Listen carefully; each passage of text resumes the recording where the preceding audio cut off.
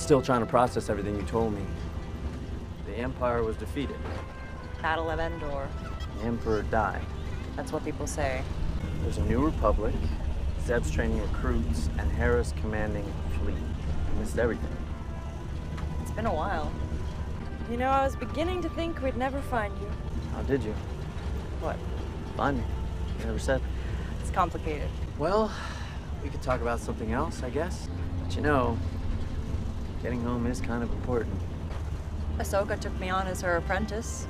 She what? Why? I mean, congratulations.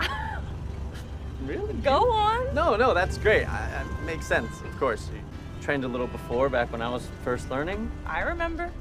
Yeah, so where is Ahsoka? Is she coming?